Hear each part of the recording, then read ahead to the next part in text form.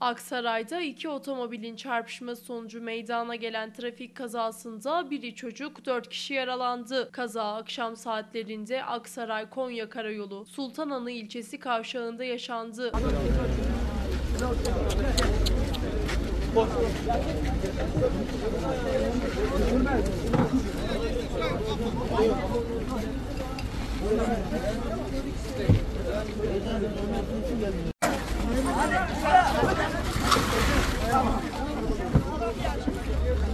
Hoca devindirmeyin. Bacağı kırık bak.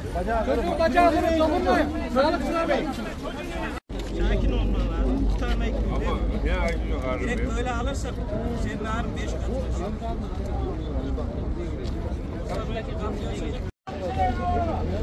Edinilen bilgiye göre Aksaray'dan Konya istikametine seyreden AN idaresindeki 68 ACU 635 plakalı otomobil ilçe kavşağında dönüş yapan ÖS yönetimindeki 68 AEM 824 plakalı otomobil ile çarpıştı. Çarpışmanın etkisiyle otomobiller adeta hurdaya dönerken araç sürücüleri ve araçlarda yolcu olarak bulunan SD ve MD olmak üzere 4 kişi yaralandı. Kazayı gören çevredeki vatandaşlar durumu hemen 112 acil çağrı merkezine bildirdi. İhbar üzerine olay yerine polis, jandarma ve sağlık ekipleri sevk edildi. Kısa sürede olay yerine gelen 112 acil yardım ekipleri yaralılara ilk müdahaleyi olay yerinde yaptı. Araçta sıkışan SD isimli vatandaş ise sağlık ekiplerince sıkıştığı yerden çıkarıldı. Yaralılar ilk müdahalelerin ardından Aksaray Eğitim ve Araştırma Hastanesi'nin acil servisine kaldırılırken hayati tehlikelerinin bulunduğu öğrenildi.